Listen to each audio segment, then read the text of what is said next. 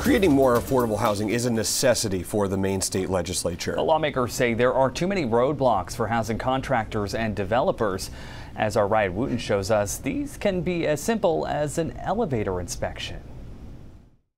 There are only three licensed elevator inspectors in the whole state who can perform acceptance elevator inspections, and they're struggling to keep up with the demand.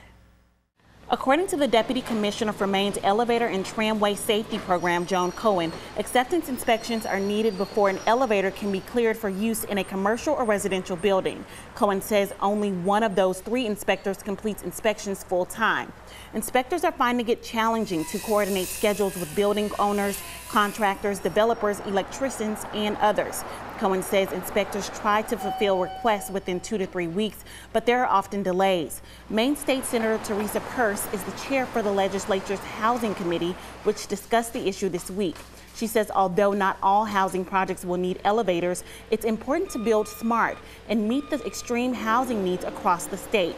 She says building multi-story apartments may give housing developers room to build more functional living spaces. These all don't have to be big things like in big cities, but four story, you know, complexes across the state can be very appropriate. And if we build in places that have water, have sewer, have maybe some transportation, have people close to walking distance to a grocery store, it just creates a, a community and ability for people to live anywhere in the state. According to Cohen, there are 12 units that are scheduled for inspections within the next three weeks. 90 other buildings are in various stages of construction and will also soon need approval. Riot Wooten, News Center, Maine.